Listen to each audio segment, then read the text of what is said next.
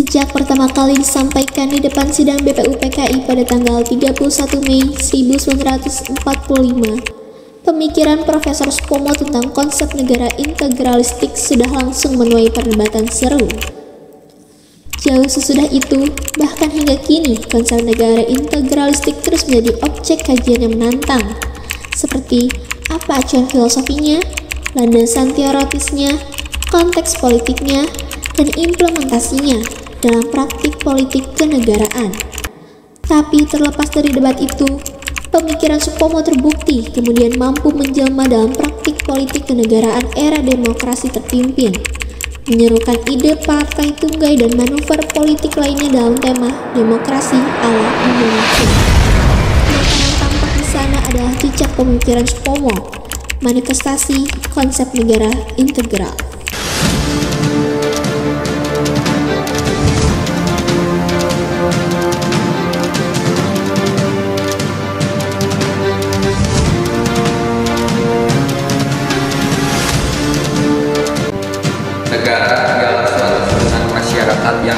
Integral.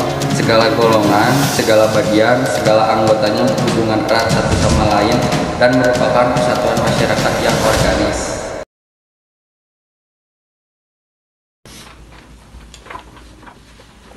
Selamat pagi dan salam sejahtera. Terima kasih telah memberikan kesempatan untuk menghadiri sidang kali ini. Silakan duduk. Saudara-saudara bangsa Indonesia dan bangsa Jepang, pada hari ini kita akan merumuskan dasar negara Indonesia. Ohayo gozaimasu. Pada hari ini kami ingin mendengar pendapat dan gagasan dari bangsa Indonesia. Saudara-saudara semua, sekarang sudah saatnya untuk membentuk dasar negara Indonesia agar kemerdekaan negara Indonesia semakin sempurna.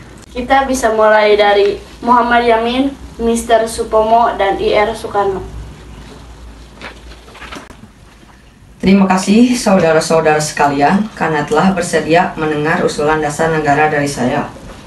Peri kebangsaan, peri kemanusiaan, peri ketuhanan, peri kerakyatan, dan kesejahteraan rakyat.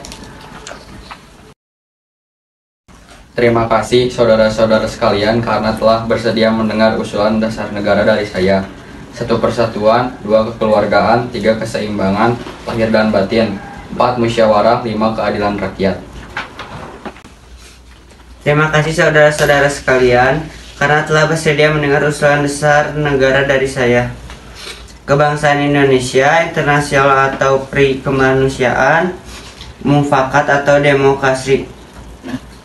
Terima kasih atas usulan dasar negaranya. Saya terima dan saya akhiri sidang kali ini.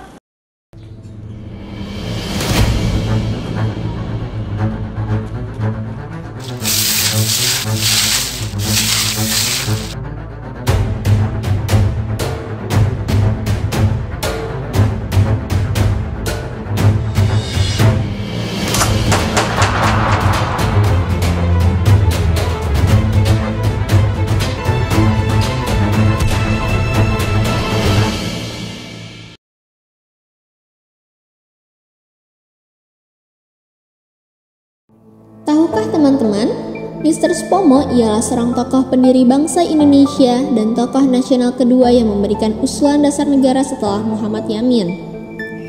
Mr. Spomo mengambil peran besar sehingga Indonesia berhasil memproklamasikan kemerdekaan secara resmi.